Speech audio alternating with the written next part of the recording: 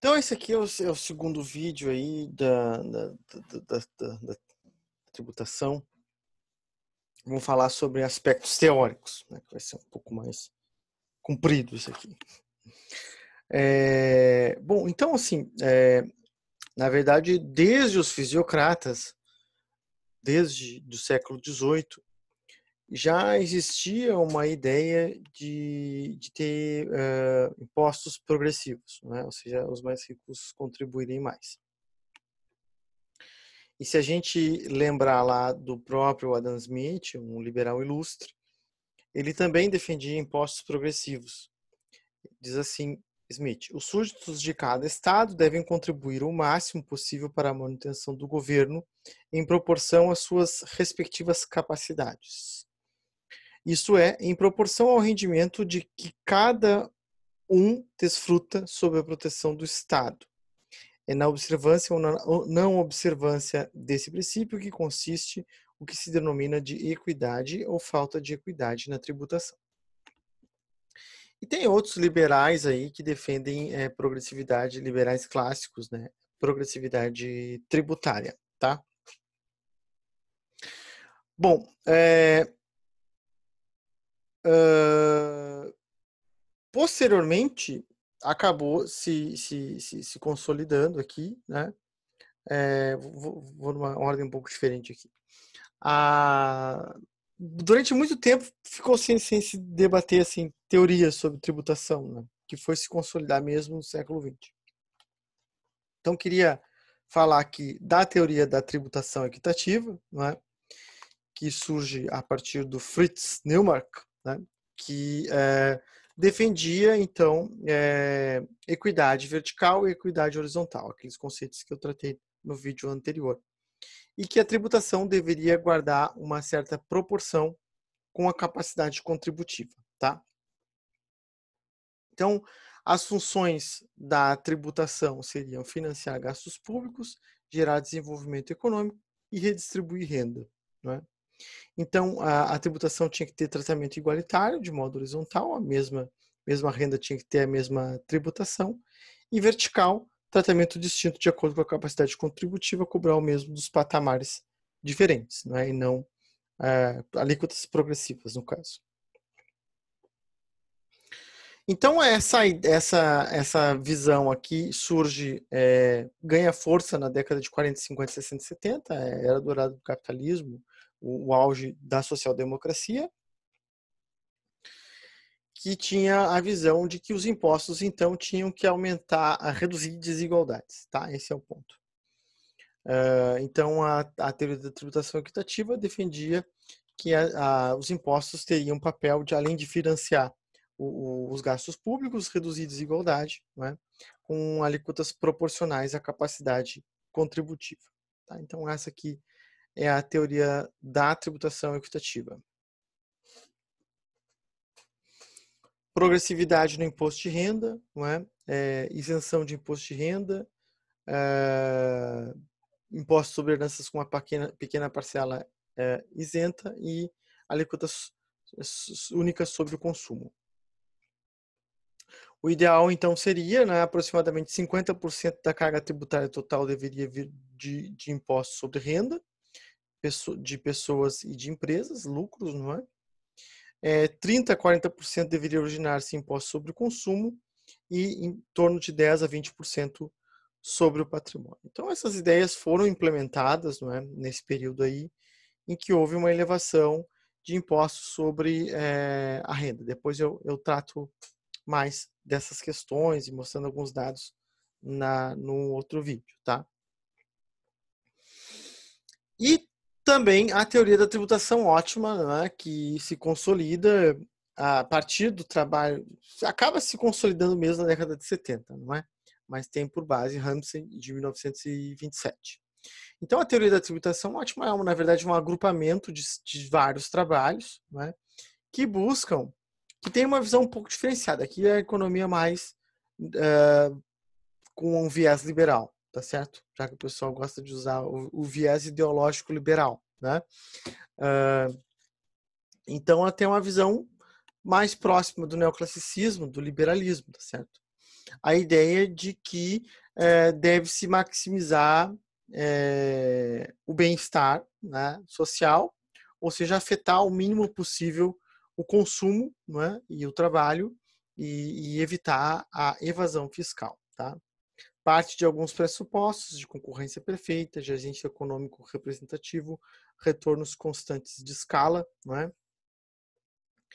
e a ideia de que os tributos acabam distorcendo a economia e afetam as decisões dos agentes, então tem que tributar observando isso. Né?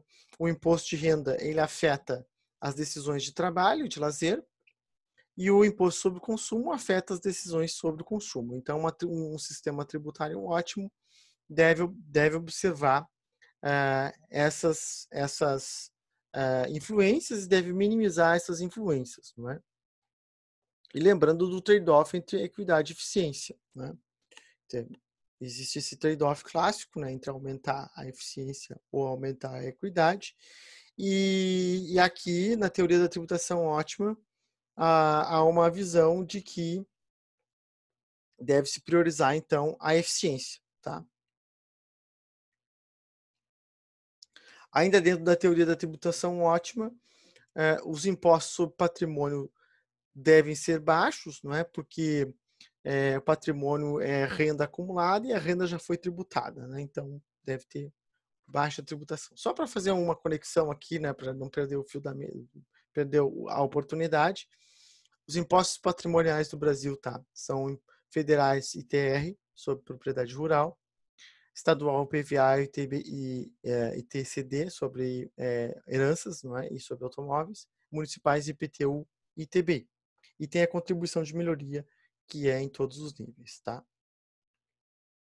Bom, eu queria falar também aqui da, da, do, do da curva de Laffer, né? Uh, a curva de Laffer uh, é uma, uma concepção aí, né?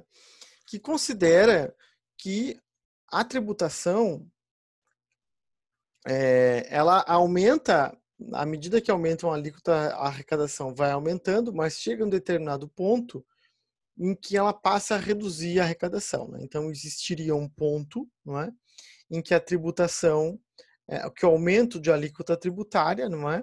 é faz com que haja uma redução da, da receita. Né? A partir daqui, então, reduziria-se a receita. Então, existiria um ponto máximo de carga tributária, né, que a partir dali uh, haveria uma redução da, da arrecadação, tá? a partir devido ao desestímulo ao trabalho e à evasão fiscal, tá? Bom, os testes empíricos que são feitos com relação a isso não validam muito a teoria, a, a curva de Laffer, tá? Aqui tem o teste empírico com SMS de 2006, né, que diz que uh, alíquotas maiores nem sempre favorecem a elevação da sonegação de ICMS. Tá? E esse estudo aqui também, uh, de 2017, uh, estima uma, uh, uma alíquota máxima no Brasil de 40,37%, né, com dados de 96 a 2014. Mas, de toda forma, há pouca evidência que sustente a curva de Laffer, tá? Não há muita evidência empírica. Bom, eu só queria falar esses dois pontos aqui que, que acabei pulando.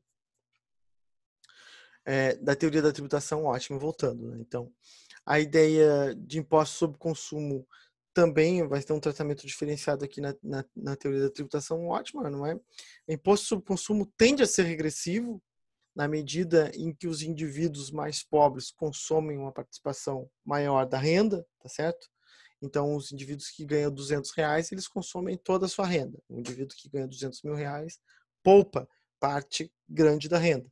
Então, se os impostos estão sobre o consumo, é, centrados no consumo, não é? Ah, os indivíduos mais pobres acabam pagando alíquotas é, em relação à sua renda maiores, tá certo? Então, por isso são regressivos, certo?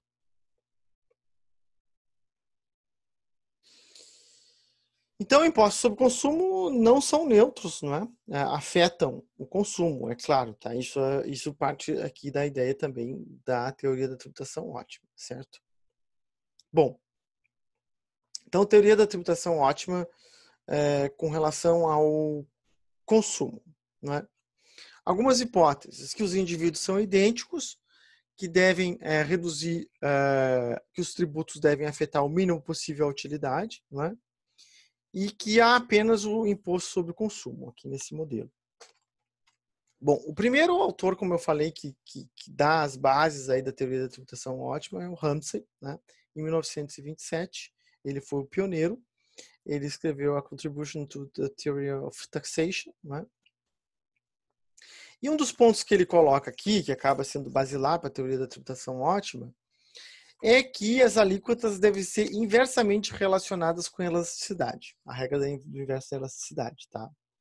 Ou seja, produtos que têm uma alta elasticidade deve ter tributação é, menor, não é? Uh, e produtos que têm uma elevada elasticidade, uma baixa elasticidade, deve ter tributação maior. Quais são os produtos que têm é, maior elasticidade? Não é?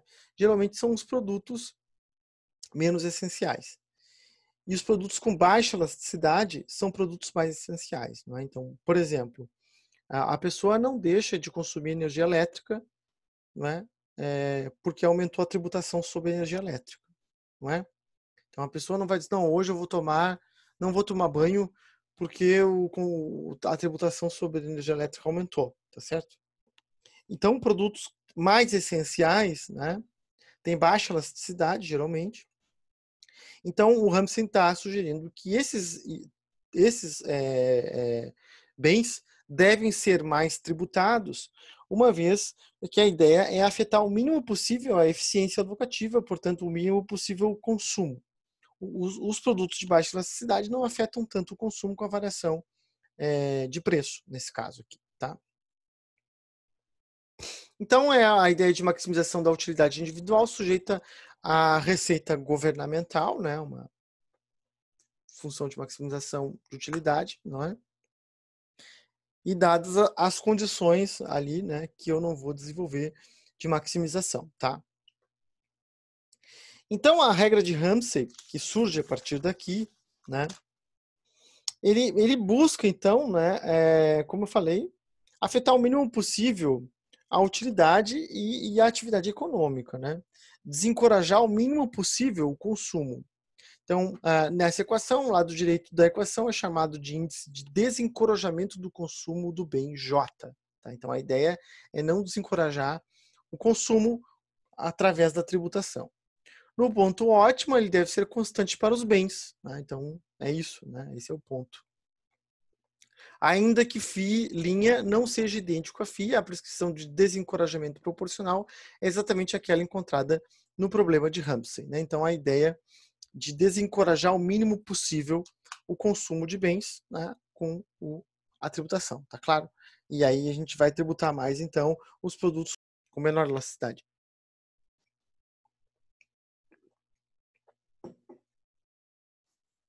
Quanto maior o tributo, mais caro o produto, deve, é, mais caro o produto e menor será a sua demanda produzindo-se menos. Então a ideia é não afetar isto, né?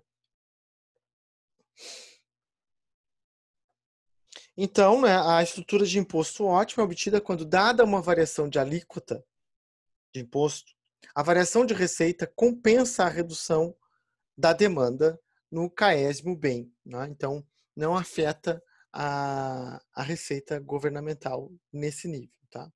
Então, o governo vai calibrar o imposto mais para cima é? para produtos que o, que o consumidor reage menos, né? de baixa elasticidade. Uh, pois com isso arrecada-se mais rapidamente sem perder tanto. Tá? Bom, os efeitos aqui dos impostos sobre, sobre o consumo tem o efeito renda, né, claro, né, que reduz o poder de compra, né, à medida que os preços aumentam, e o efeito substituição, que altera a decisão, a alocação, eventualmente o, o indivíduo troca de bem. Né?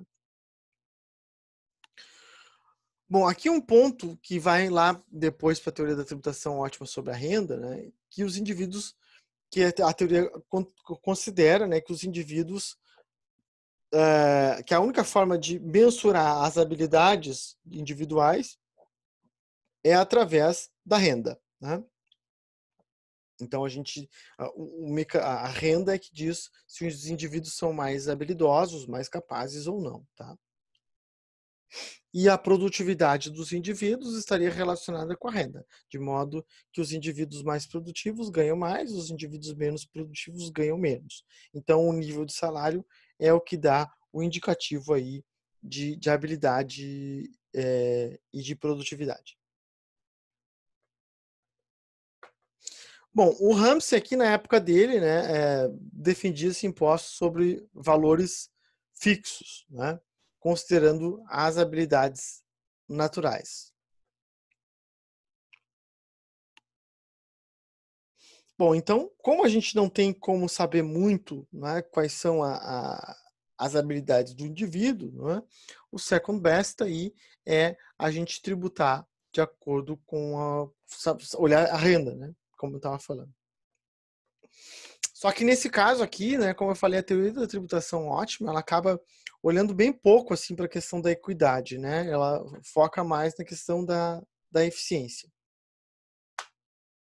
Bom, então a partir de, desses desse desencadear surge a regra do inverso da elasticidade, que é aquela ideia que eu estava falando. Né? As alíquotas devem ser maiores para os bens que possuem menores elasticidades, é? para evitar a distorção do consumo.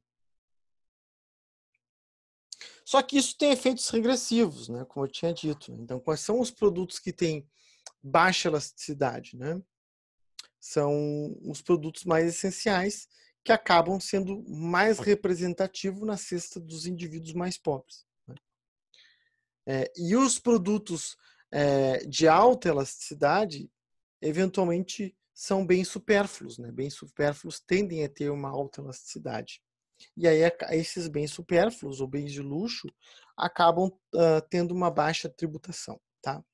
Então essas, essas regras aqui acabam é, ignorando os efeitos distributivos da tributação, não é?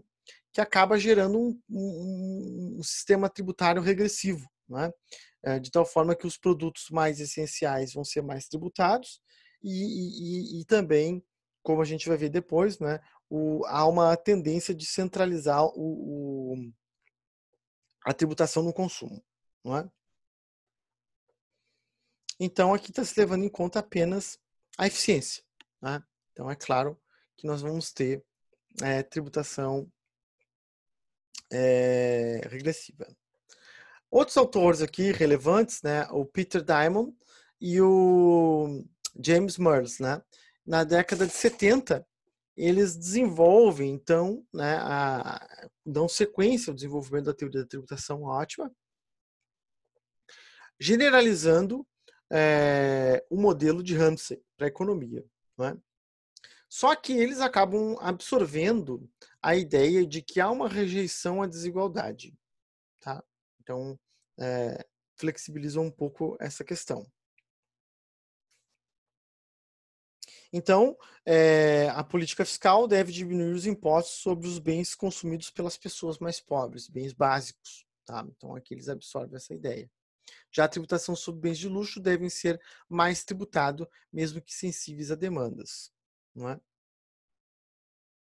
Bom, a primeira regra é de Peter Diamond e James Merles, né? Quanto mais um bem é consumido por indivíduos que possuem uma elevada propensão marginal a consumir, não é?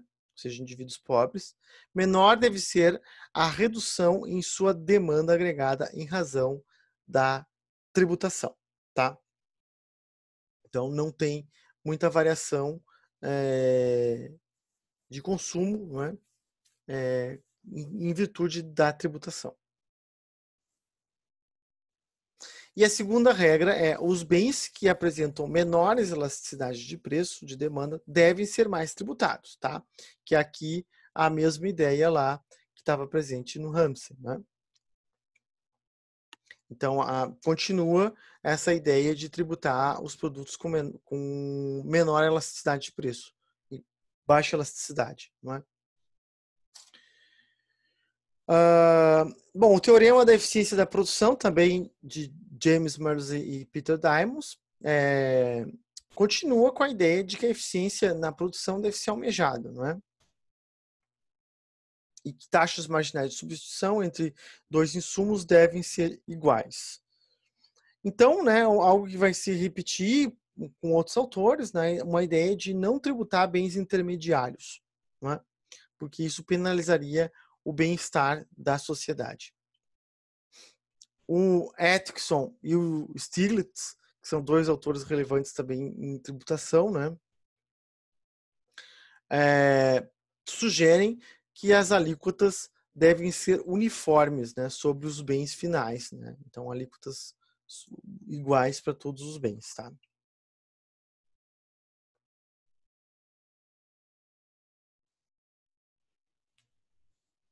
Bom, de toda forma, né, os impostos eles podem ser seletivos, né, como eu falei lá anteriormente, ou não, né? E podem ser cumulativos ou não, né?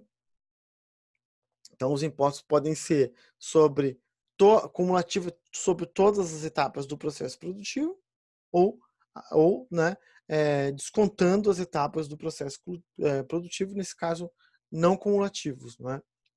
Os, valor, os, os impostos sobre o valor total não é, afeta mais a eficiência, né? ou seja, impostos cumulativos. Né? Então, eles estão desaconselhando impostos cumulativos é, tanto por afetar a, a, a, eficiência, porque tem o imposto em cascata, como chamam, né?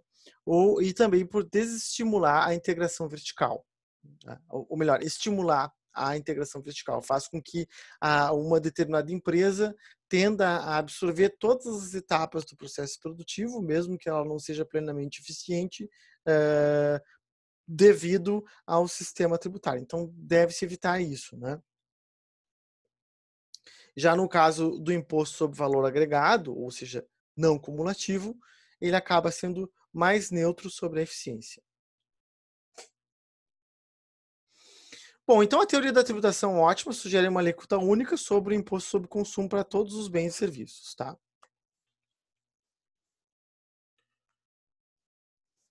E também, né, como a gente vai ver quando falar um pouco mais agora sobre renda, eles estimulam, né, que é, se priorize aqui o imposto sobre o consumo, né? em detrimento dos impostos sobre o capital, né? Eh, na, no intento de estimular então a, acumulação de capital e a formação de poupança uh, por aqueles que acumulam capital, tá? Buscando então incentivar o, o crescimento econômico, tá? Bom, é claro que não se trata de um consenso, né? A teoria da tributação equitativa tem uma visão diferente, como eu já falei. E para falar aqui também de outro autor, o Kalec, né? O Kalec tem uma visão bastante diferente, não é, com relação a, a essas questões da variação da demanda uh, de acordo com a renda dos indivíduos, né? Uh, de acordo para o Kalec, os tributos sobre, sobre os mais pobres não geram acréscimo de demanda na economia, apenas transferem recursos dos trabalhadores para o setor público, uma vez que os mais pobres eles consomem toda a sua renda, né? E os tributos apenas afetam a demanda se forem sobre os mais ricos, não é? Porque os mais ricos eles não consomem toda a sua renda, então se o, se o tributo vai financiar o gasto, não é? é sobre os indivíduos, é, sobre dos gastos do governo, né? se for sobre os mais ricos, ele vai aumentar ah, o consumo agregado, a demanda agregada, e vai aumentar a demanda efetiva.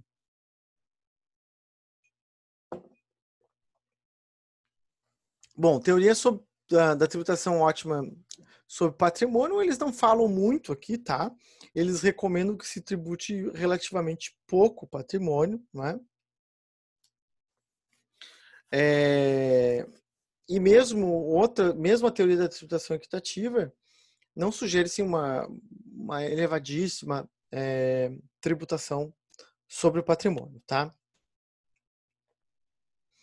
Levemente progressivas, né, como aqui no caso da teoria da tributação equitativa, a ressalva fica para heranças e doações que devem ser é, fortemente tributadas, tá? Bom, então eu queria falar aqui da, entrar na, na teoria da tributação ótima sobre a renda, né? O principal autor aqui que é o James Merles, né? Que ele escreve esse trabalho em 71, né? E aí ele, bom, os indivíduos têm capacidades diferentes, né? Então, é, a tributação afeta as escolhas. Né? Então, a ideia aqui, é, digamos, do viés liberal. Né? a, a tributação afeta a escolha né?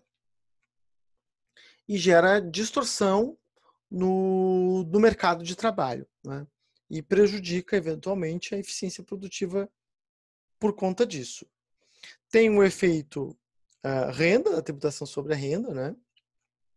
que exige que os indivíduos trabalhem mais para manter o mesmo padrão de consumo, caso aumente a tributação. E o, evento, o efeito substituição, tá? que é, eventualmente né, diminui a recompensa pelo trabalho. Né? Então, eventualmente, o indivíduo pode pensar de trabalhar menos, dado que aumentou a tributação sobre a renda dele. Né? E o efeito substituição tende a ser maior que o efeito renda, ou seja, o imposto sobre a renda é, retiraria, reduziria a oferta de trabalho e no caso como né, no caso aqui se for progressivo vai desestimular justamente os indivíduos mais capazes né? Os mais produtivos tá?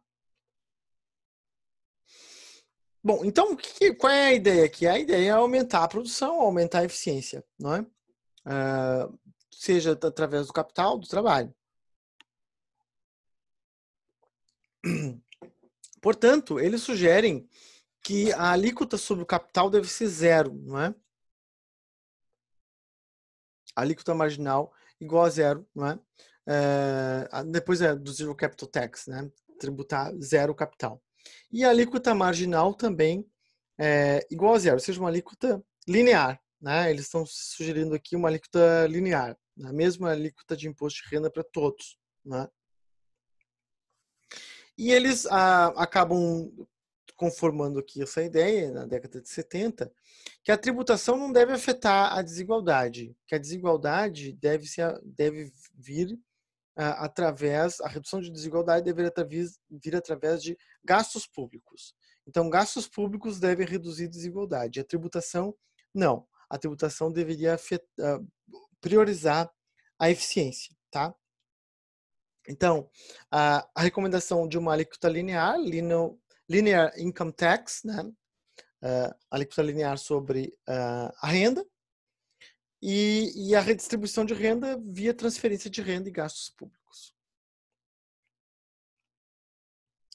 Então, eles sugerem, já sugeririam, já sugeririam, já sugeriam antes, né, que os impostos sobre bens intermediários deveriam ter uma alíquota é, marginal igual a zero, não é?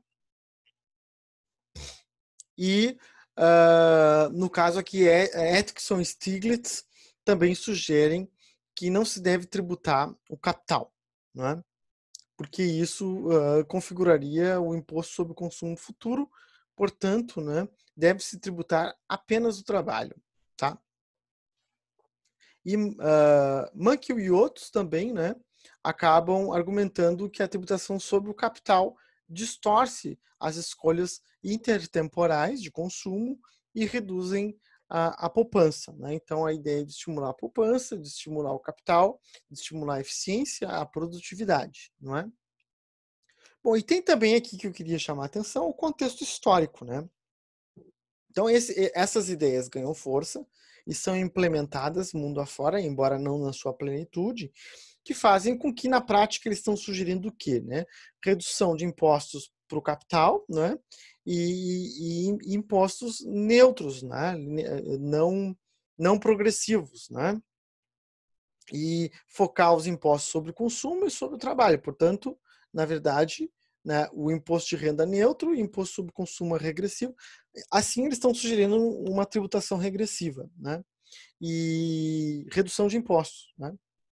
Isso num contexto, né? Quer dizer, a teoria da tributação ótima e o welfare state, tal, lembrando lá do vídeo do welfare state, ele se consolida, né? O, o bem, a, a, aumento da tributação sobre os mais ricos e serviços públicos, é, num momento em que a União Soviética crescia e tudo, né? E que o comunismo era uma ameaça. Isso deixa de acontecer na década de 70 e 80, não é? O keynesianismo entre crise, né? o welfare state entre crise, o Estado social entre crise, né? e, e todas essas ideias aqui acabam é, de, de, progressividade, de Estado social, de impostos sobre os mais ricos, acabam caindo, né? junto com a União Soviética, tá? E aí, bom, né? Nós temos aí o auge do neoliberalismo, né? Que é uh, uh, Ronald Reagan, Margaret Thatcher, que acabam encampando essas ideias e implementando, dando start aí, é, embora já tenha começado também no Pinochet, né? O auge aí do, do neoliberalismo, não é? Redução de impostos para os mais ricos, tá? Uh, na ideia de estimular então o investimento produtivo, o empreendedorismo, né? E a poupança, tá certo?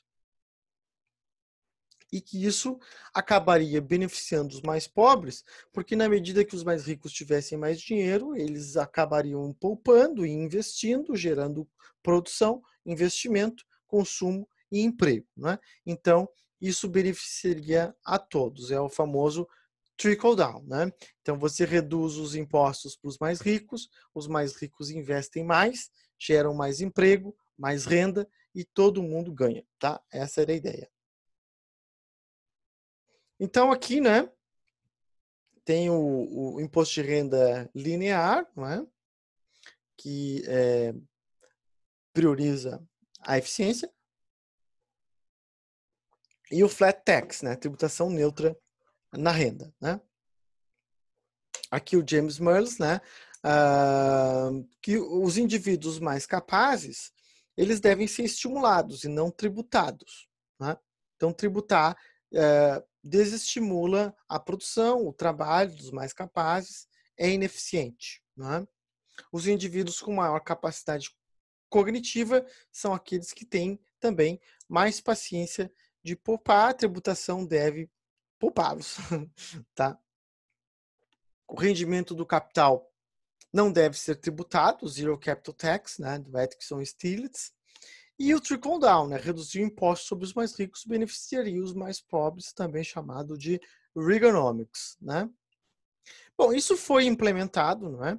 Aqui é o histórico de alíquota de imposto de renda nos Estados Unidos, Reino Unido, é, Alemanha, França e Japão, né? Então a gente observa aí que é, durante determinado período, aqui principalmente pós-década de 30, né, uma elevação dos impostos sobre os mais ricos, né, aqui ali a, a, o imposto máximo sobre os mais ricos, né, imposto de renda, alíquotas máximas, quero dizer, que chegaram aqui no caso do Reino Unido a quase 100%, tá certo? Aqui, ó, né? E que a partir da década de 80 e auge do neoliberalismo há uma redução da, dos impostos sobre os mais ricos, tá? Na ideia de estimular a atividade econômica, investimento, etc, etc, ok? Bom, aí começam os problemas, né? O que acontece? Se imaginava que a economia ia crescer mais, né? Só que isso não aconteceu, tá certo? É, na verdade, aconteceu o contrário, né? A, a taxa de crescimento econômico caiu, né? É, então, a, a taxa de crescimento econômico aqui de 90 a 2002, a média foi 2,1, né? Enquanto que entre a década de 50 e 80 foi 2,5, né? Só que aqui ainda pega um período de que teve crescimento ali no final, no início dos anos 2000. Se a gente pega aqui é, uma série de crescimento econômico mundial, olha, aqui na década de 60, né? Ela estava num patamar aqui de 5, 6%, tá certo? E ela cai aqui para um patamar de aproximadamente 3%, tá? Então, é uma queda aqui, né? É, o gráfico não mostra tão claramente, mas houve uma redução das taxas de crescimento econômico em diversos países, né? E, e na média mundial, tá? Mais do que isso, né? Que eu já mostrei em outras oportunidades esse gráfico, que eu acho impressionante. Aqui, uh, um gráfico do FMI de 2017, né? depois eu vou citar de novo esses, o, o, o esse estudo aí do, do FMI, né? que mostra que houve uma, uma, um aumento da desigualdade assim, sem precedentes. Quer dizer, você sabia que ia aumentar a desigualdade, tá? Então, você está reduzindo impostos para os mais ricos. Mas a ideia é que eles investissem e gerassem emprego, renda, investimento produtivo. Bom, essa parte aqui não aconteceu, tá certo? Então, houve um aumento de, de, de apropriação de renda dos mais ricos, né? enquanto que os mais pobres basicamente mantiveram, é, que cresceram muito pouco, né? Os 99% mais pobres, né? Então, quase toda a população, vamos dizer. Aqui é um gráfico também que já mostrei em outra oportunidade, né? A captura do crescimento econômico entre 1980 e 2016 nos Estados Unidos e na Europa, né? Então, na verdade, a partir aqui dos 10% que começa a ver alguma diferença, né? Da apropriação de renda do, do, crescimento econômico, apropriação do crescimento econômico.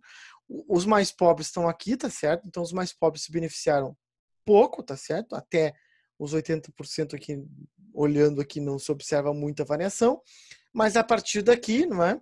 Um, uma, uma variação mais expressiva, sobretudo a partir de 99, né, por cento, ou seja, 1% aqui, né, mais rico, tá certo? Aqui o 0,1%, né? O 0,01% e o 0,0001%, que é quem de fato ganha, né? Uma variação uh, aqui de renda de 300, 400%. É um crescimento da desigualdade assim sem precedentes, né? E diversos autores têm observado isso e tal, né? Como eu sempre falo, né? Aqui, é, o que aconteceu com o neoliberalismo foi um crescimento da desigualdade, que não era surpresa, só que a parte do crescimento econômico é que não veio. Né? Então, houve uma variação aqui com outros dados né? É, para os Estados Unidos da apropriação de renda do 1%, que aumentou 138% entre 1980 e, e 2013, tá? Enquanto que os 90% mais pobres cresceram 15% da sua renda, isso só a partir ali de, de meados da década de 90, porque antes disso, renda estagnada, né? Tá certo?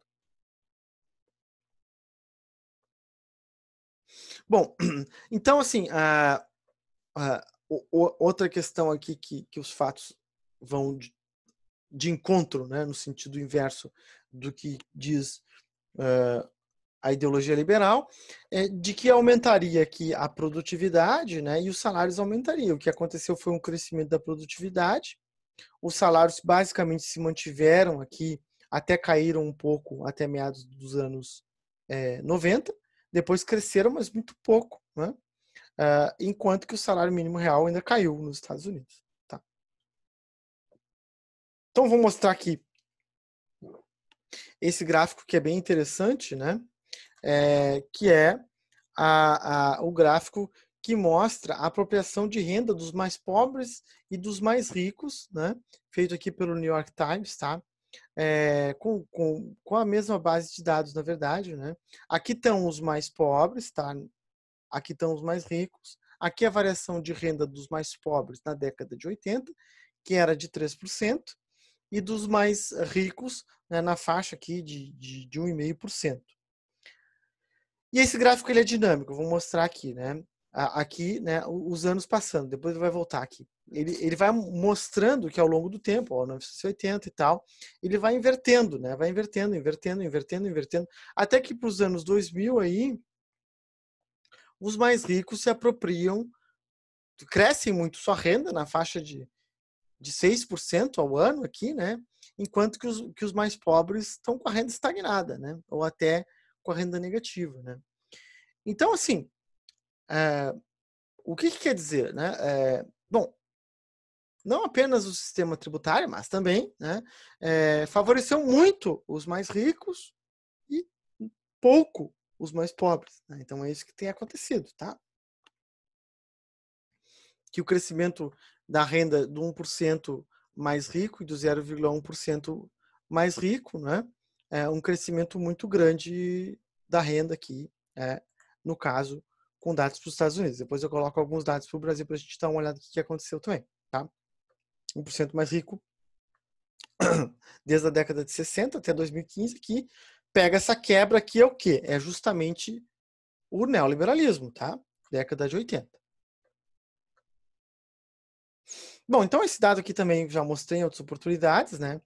É, uh, na década, nos, no início dos anos uh, do século XX, há um crescimento da, da participação dos mais pobres na renda, né?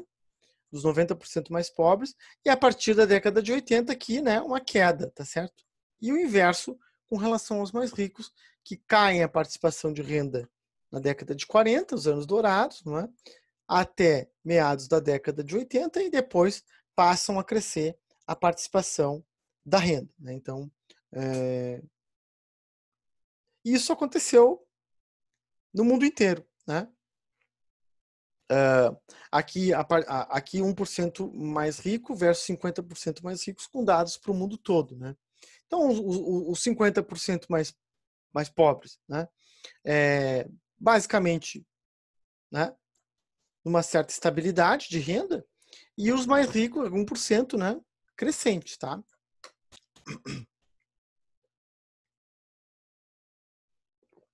Essa quebra aqui é a crise de 2008, né? que na verdade isso aqui é riqueza financeira. Né? Não vou falar desse, desse gráfico aqui, mas o, o, o ponto é este aqui. Né? A ideia do trickle down não deu certo. Né? A ideia de que reduzir impostos para os mais ricos e favorecer a vida dos mais ricos ia gerar é, crescimento e prosperidade para todos é, não aconteceu. Tá? É, bom, então o que, que acontece? Né? Esses autores, muitos deles estão vivos ainda e produzindo. Né? E eles chegaram à conclusão: olha, estávamos errados, né? Aquilo que a gente imaginou que ia acontecer não aconteceu, né? Peter Diamond, as hipóteses da teoria da tributação ótima não são compatíveis com a realidade, é preciso se dobrar aos fatos. Tributar a poupança pode estimular os indivíduos mais capazes a trabalhar mais. Né? Ele está sugerindo, então, tributar a poupança, ou seja, tributar os mais ricos. Né? Aqui, é, também Peter Diamond né? e, e, e, e Banks, né? É...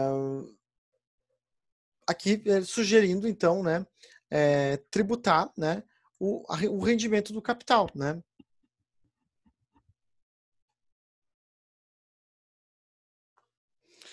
Então, é, eles propõem aqui tributar parcialmente o rendimento do capital, né? não nas mesmas, não tributar, continuar tributando mais o trabalho, né? mas tributar um pouco o capital, né? Essa é a ideia. E aqui, esse livro aqui que eu coloquei, né? Uh, The Merz Review, né? Em que ele faz uma revisão da sua concepção, né? Publicado em 2011 aí, tá? Então, algo mais recente. O que que ele, em síntese, né? Ele diz, olha, houve um crescimento da desigualdade muito grande, aquilo que a gente imaginava que ia acontecer não aconteceu, então eu preciso rever a teoria, tá? Uh, e eles estão indo no sentido de aumentar a progressividade. Então, deve-se aumentar a progressividade sobre a renda, sobre o patrimônio. Vou mostrar aqui, né? Então, uma revisão, né? Sugerindo que não apenas o trabalho deve ser é, tributado, mas também o capital, os lucros, né? dividendos, juros, aluguéis, né? Uh, aqui a citação dele, né, de 2011, né? Uh, tributar todo mundo, tributar todos os tipos de, de, rendimento, inclusive de propriedade, de poupança, né? Dividendos e ganhos do capital, né? Por quê? Bom, porque se observou que houve um crescimento da desigualdade sem precedentes, tá certo? Nos últimos 30 anos, né, a década de 80, 90 e anos 2000, é, um crescimento muito grande da desigualdade, aqueles dados que eu mostrei, e, e, e que bom, né? Uh, que é preciso fazer alguma coisa com relação a isso na parte tributária, tá?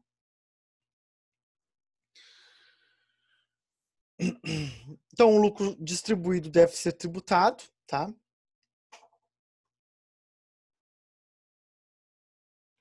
O Stiglitz, em 2014, né, é outro autor que também vai no mesmo sentido. As condições para a validade teórica do modelo Zero Capital Tax não existem. Né? Então, é uma ideia de que eles estavam errados, né? de que aqueles modelos é, tinham hipóteses que não eram realistas e que não se observaram na prática, e e lindamente, né, eles reconhecem isso, né, os próprios autores que desenvolveram essa concepção teórica e eles vão mais no sentido mais próximo da teoria da tributação equitativa, né?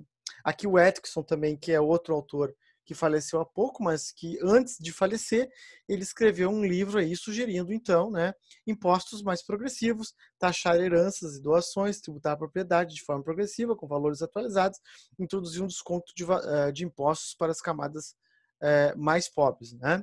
De reduzir impostos para os mais pobres e aumentar impostos para os mais ricos. Então, uma ideia de que sim, a tributação deve afetar a, a desigualdade, né?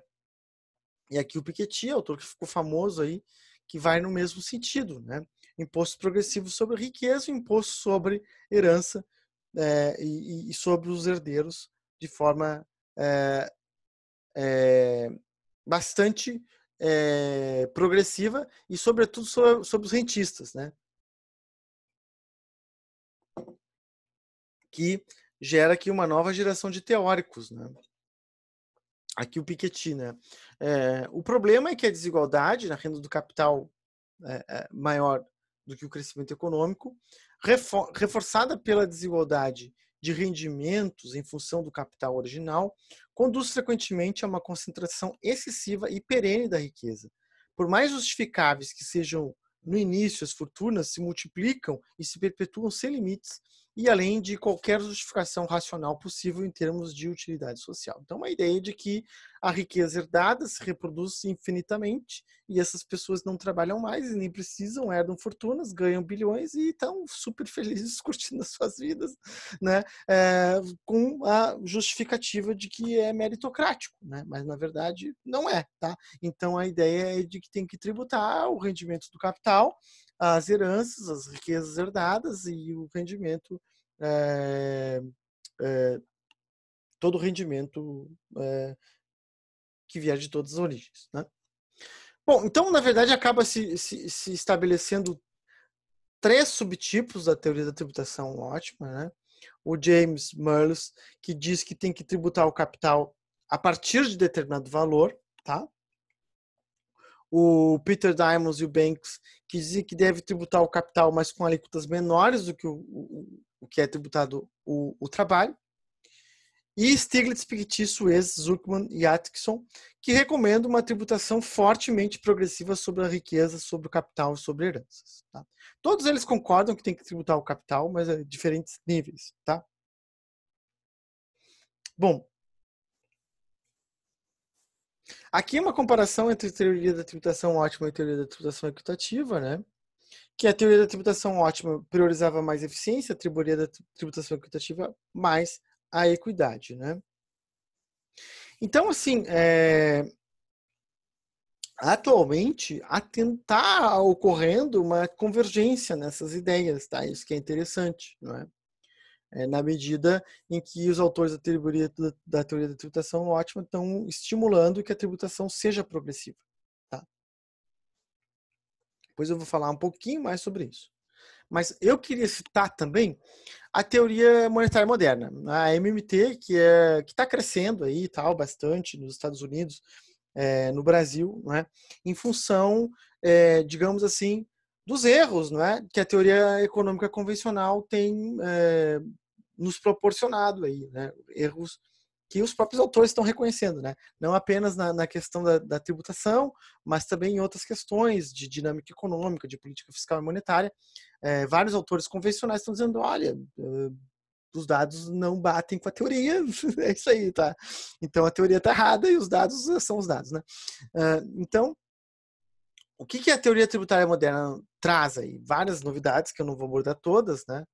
É, mas uma, uma das coisas que eles falam sobre tributos, que eu queria salientar, né, é que, diferentemente da ideia que a gente tem, né, é, de que o Estado só pode gastar aquilo que ele arrecada, eles dizem, olha, isso não existe, né, porque o Estado ele tem o monopólio da moeda, não é? é só existe uh, moeda né, respeitada quando o Estado que garante, né? É, e, e, ele, o Estado não precisa de impostos né, para gastar. Tá? ainda mais atualmente, em que o número é. que a moeda é um número, né? é um dígito. Né?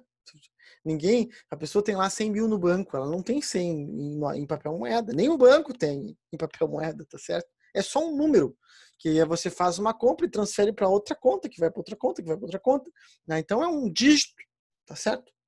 Uh, e isso vale também para a conta do governo, né? Então, que está acontecendo aí em vários países e tal, nos Estados Unidos, no Japão, na Suécia, né? Que o Banco Central está comprando títulos do, do Tesouro, financiando o Tesouro. Como? Só, só, só, um botãozinho lá que ele vai lá aperta e entra crédito no, na conta do Tesouro. Portanto, o Estado não precisa de impostos, não precisa de tributos para gastar, tá? Porque eles se endividam na própria moeda e eles não têm restrições. É, quer dizer, nenhum Estado quebra na própria moeda, tá? Que é uma obviedade que a MMT chama atenção, né? Que é evidente, né? Uh, aqui uma citação do Ray, né? O Estado define dinheiro como aquilo que aceita nos guichês públicos de pagamento. É ele que define o que é dinheiro. O governo não tem necessidade do dinheiro público para gastar. Ao contrário, o público necessita do dinheiro do governo para pagar tributos. Isso significa que o governo pode comprar qualquer coisa que seja venda em termos de seu dinheiro, apenas pelo fornecimento desse dinheiro. Então, uma ideia aqui, né, que, que é interessante, né, de que o Estado não precisa de, de tributos, né? É, e, o, e, o, sentido do tributo é o que, que, é, que, que o tributo faz? Ele retira dinheiro da economia, né? E, e o gasto do governo coloca dinheiro na economia, certo? É, então, tributar deveria ser a tributação deveria ser imposta somente quando é desejável que os contribuintes tenham menos moeda. Né? Então, quando é preciso enxugar a, a, a, a, quantidade de moeda em circulação, quando é preciso enxugar a demanda agregada, quando é preciso fazer alguma política para combater a inflação ou, ou o, hiper, o, o, hiperemprego, enfim, né? É, você tributa. No, no, no contrário, não precisa, tá? Uh, os, os, tributos eles serviriam para enxugar a renda excessiva, né? que é uma ideia aí original da MMT. Né? Não vou dar a minha opinião sobre isso, né? mas é, é uma ideia que está crescendo e está ganhando espaço no debate, na academia e tudo mais. Tá? Então, uh, que tem desdobramentos outros né, de política econômica, de política fiscal, de dívida pública, que eu não vou entrar aqui, vou voltar a isso lá quando estiver tratando sobre dívida pública, tá? Mas é uma ideia de que o déficit público não é um problema e o endividamento em moeda nacional não é um problema, tá? Bom, voltando lá para a questão dos dados, do aumento da desigualdade, do efeito da, da tributação sobre isso, né? É, bom, vários organismos multilaterais têm apontado isso, né? Quer dizer, não é apenas os teóricos da, que reconhecem que eles estavam errados, mas vários organismos, seja a CEPAL, né, que tem indicado que deve aumentar a tributação sobre patrimônio e sobre herança, né? É, e, e, também deve fazer política para evitar paraísos fiscais e tudo, né? Internacionalmente. Mas o próprio FMI, tá certo? É, que, que, digamos assim, é ponta de lança aí do, do liberalismo, tem ido nesse sentido também. Né? Então, aqui em 2017, no, no relatório aí fiscal de 2017, eles, eles já colocam todo o relatório no sentido de fazer políticas para reduzir a desigualdade, tá? Com base naqueles dados que eles mesmos apresentam e tal, que eu vou voltar aqui e tal, lembro aquele dado lá dos Estados Unidos, eles mostram problematizam essas questões, né? E que recomendam, portanto, progressividade tributária, que a política de tributação deve reduzir desigualdade, é, recomendo investimento público em educação e saúde, renda universal básica e até mesmo a, a questões ambientais que eles estão absorvendo, né? Então, a publicação ressalta que os resultados empíricos não suportam argumentos que, que taxas de impostos mais elevadas iriam contribuir negativamente para a economia. Então, a ideia de que aumentar os impostos para os mais ricos iria desestimular a economia, isso está errado. Né? Então, empiricamente, se observa que essa ideia está errada. Tá? Uh, isso aí quem está dizendo é a FMI, é os autores que desenvolveram essas ideias. Então, assim, né, quem defende está fora do, da realidade. Né? E aqui, mais recentemente agora, o, o próprio FMI também, no, no mesmo documento de 2020, né, que é Políticas para Sair da Crise, né, eles acabam é, estimulando aí o investimento público, né, é, acabam estimulando aumento da progressividade, né, sobretudo para as empresas também, né, e, e também políticas de redução de desigualdade e, e de cobertura dos mais frágeis. Indicam também que deve ter maior flexibilidade com o déficit público. Tá? Mas o ponto aqui é a questão da tributação. Né? Então, é, os liberais estão sugerindo que tem que tributar mais os mais ricos, então, portanto, temos um consenso teórico, tá certo? Que os liberais diziam o contrário, agora eles mudaram de ideia. Então, os próprios organismos que são ponta de lança do liberalismo, então temos uma convergência, né? Finalmente, é, na, na teoria. Bom, então, vou encerrar por aqui. Depois eu vou falar um pouco sobre desigualdade e tributação no Brasil, tá? É, dando sequência aí nesse, nessa discussão. Então, é, nos vemos na sequência.